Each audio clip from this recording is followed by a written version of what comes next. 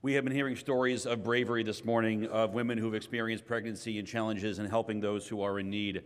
I want to bring some up now who demonstrated bravery in a different way, who spoke truth to power in ways that was inspiring to me. I want to introduce 16 year old Maddy Barenboim.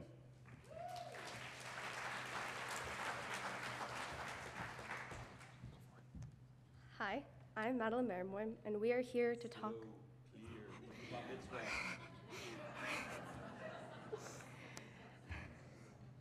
We are here to talk about justice and the importance of women's reproductive rights. Now, why would a 16 year old girl be qualified to talk about these kinds of issues? Women's reproductive rights affect every and all women, more specifically, those of reproductive age. I have several friends who have gone through teen pregnancy and have had children in high school due to the lack of accessibility to contraceptives and proper education on these topics. It is one of my passions to be able to shed light upon these social justice issues and to use my own voice to try to make a change for the better. Thanks to this temple, I got the opportunity to go on the L'taken trip with Rabbi Greg and a few other students for RAC. L'taken is a reform movement program for high schoolers all over the country. We spend a long weekend in Washington, D.C., learning about different social justice issues and why they're important in Judaism, and how to write a speech to lobby about these issues to our own representatives, not only based on our personal beliefs and evidence, but also about the principles, values, and lessons that are taught in Judaism. On the last day, all of us go to visit the offices of our senators and representatives on Capitol Hill to share our ideas about social justice issues as constituents and ask for attention to be brought upon them. Two other girls and I wrote speeches together about the importance of women's reproductive rights, which we shared in Senator Rick Scott's office.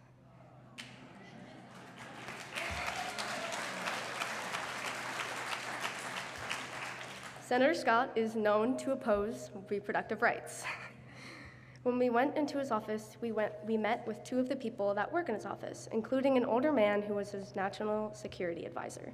The three of us read through our speeches, making our points, giving evidence, giving personal stories, and stating the importance of these issues not only to ourselves, but to our Jewish beliefs.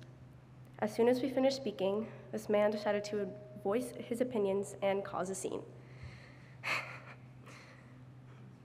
he said, and I quote, I feel attacked, referring to a speech given by three teenage girls about our personal rights to our bodily autonomy. Before any of the rabbis could even jump in, I replied that we were only expressing our opinions and concerns on an issue that we believe in and di- that directly affects our everyday lives. He proceeded to argue and debate with me, going back and forth for about five to 10 minutes. He demanded that I give an oppositional viewpoint, which I did and disproved. And I continued giving facts and evidence about different types of situations and medical reasons for an abortion ectopic pregnancies, incomplete miscarriages, and sickness in both the mother and the fetus. All of these complications result in a requirement of termination for the mother to live. I talked about the sexual assault rate in the US being one in every six women. I talked about women being unfit in mental health, financial stability, and physical health or stability, and so much more. His only argument and justification was that he had an Orthodox Jewish friend who didn't believe in abortion. He wouldn't believe that Judaism said women are entitled and even morally obligated to the termination of a pregnancy if the mother's well being is at risk mental, physical, financial, emotional, any and all well being. He tried to argue with the three rabbis who were in the room about what our Torah says and dictates. Finally, he asked me what specific limitations would be included in a bill and what the bill might look like. To me, a 16 year old high schooler. I looked up in the eyes and I said, Sir, I'm not a doctor, I'm not a lawyer, I'm not a legislator, but I have a uterus.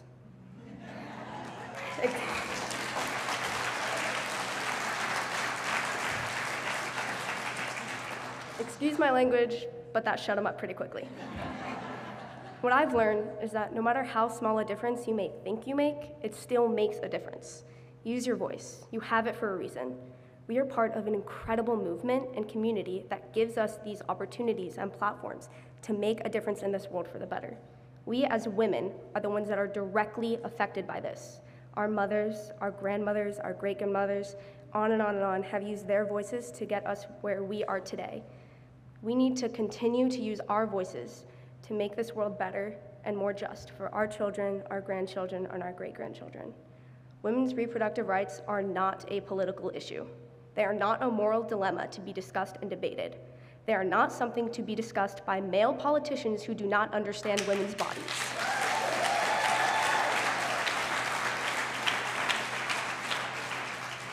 They are a medical issue, a personal choice to be made by every woman individually. I only have one regret from my time in, sen- in the senator's office. I wish that I had asked that man why his religious beliefs are more important than mine and why they affect political issues when we have separation of church and state. Why do male politicians have more autonomy over my body than I do?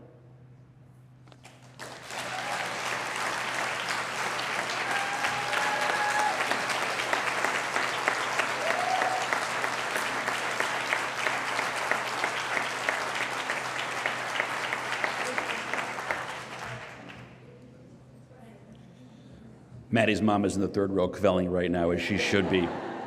I was in that room with Maddy and with the team in Senator Scott's office, and it was so powerful. And I was so proud of you, Maddy, to see what you did, to see how you stood up for yourself, for our community, for our people, and for our tradition. And you didn't talk about the color of red that that man's face turned when he realized that he was beaten in a debate by a 16 year old. Congratulations and thank you again. Let's hear it again for Maddy.